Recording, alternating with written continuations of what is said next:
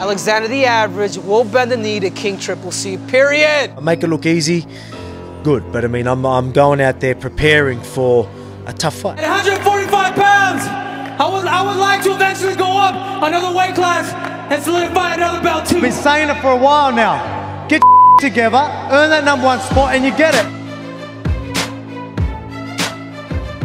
Don't you shut me up, Alexander the Average. I'm right here, dude. What's up? You want to stay active? Talk is cheap.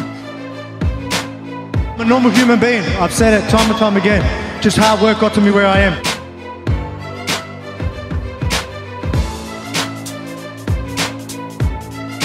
Gonna come. They're gonna. He's gonna be on. He's always on. He's ready. And his team's gonna come up with strategy. But I'm just gonna be too much. I'm going up. I want that belt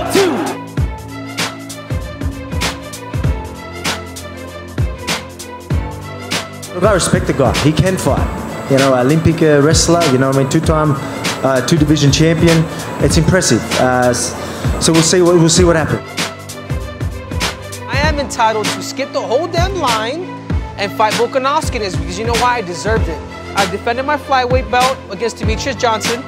I, I beat TJ Dillashaw. I went up. I knocked out Marlon Moraes, and I defended against Dominick Cruz, the greatest bantamweight of all time. I need to stay active, and I want that double champ status. And uh, like I said, I, I can stay active enough, and I proved that.